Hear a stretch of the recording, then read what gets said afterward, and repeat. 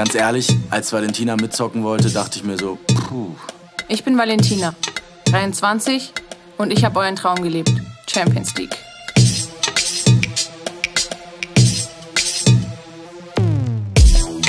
Eigentlich habe ich Fußballspielen auf der Straße gelernt. In den Hinterhöfen, in den Käfigen. Dort lernst du in allen Zweikämpfen, was es heißt, sich durchzusetzen. Es kommt nicht darauf an, wer du bist oder wo du herkommst, sondern einfach darauf, was du ablieferst. Alles, was ich heute bin, habe ich dem Fußball zu verdanken. Naja, Vereinsfußball ist für mich Taktik, Training, bestimmte Abläufe. Aber die Base, die Base bedeutet Freiheit, Action, eins gegen eins. Die Base ist für mich Straßenfußball. First never follows. Das bedeutet für mich, dass du nur deinen eigenen Weg gehst.